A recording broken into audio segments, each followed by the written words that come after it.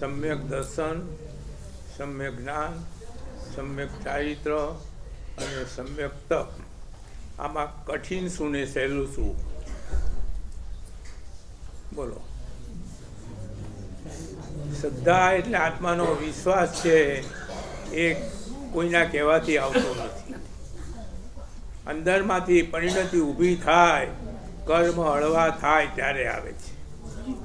જ્ઞાન મહેનત કરીએ, ત્યારે પણ ચડે કે ન ચડે, કર્મના ક્ષયોપક્ષમ થયા હોય, તો જ્ઞાન મહેનત કરીએ તોય ચડે અને જ્ઞાન સામેથી આવીને પણ મળે. મળે. કોઈની બુદ્ધિ, કોઈના બાપની હોય છે, તો એ કર્મના ક્ષયોપક્ષમ તો આધીન છે. સમ્યક દર્શન એ પણ કાળ પરિણતિ થઈ હોય ત્યારે મળે છે. સમ્યક ચારિત્ર દરેક વાતમાં નિયંત્રણ કરીએ ત્યારે થાય છે.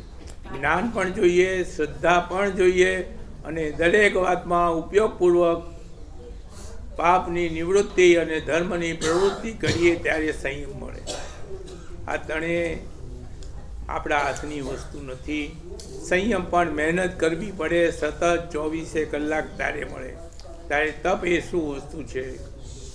તો કે સંસારમાં આ ત્રણે મેળવવા માટે સહેલામાં સહેલો ઉપાય હોય તો શું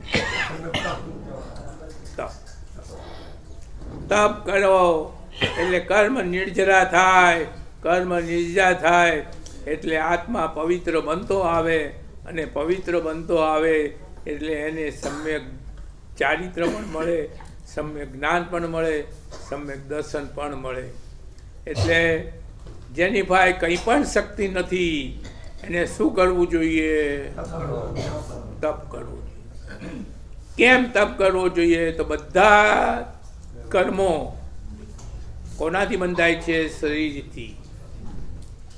શરીરના મોહના કારણે, શરીરની મમતાના કારણે, વિષયોની પરાધીનતાના કારણે કસાયની પરોસતાના કારણે, મનની ઉચ્છૃંખલતાના કારણે કર્મો બંધાય છે. આ બધા કર્મો નાશ કોણ પામાડે Double.